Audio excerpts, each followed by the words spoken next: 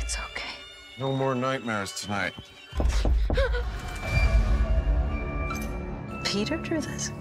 Yes. Peter has an overactive imagination. You don't hear anything.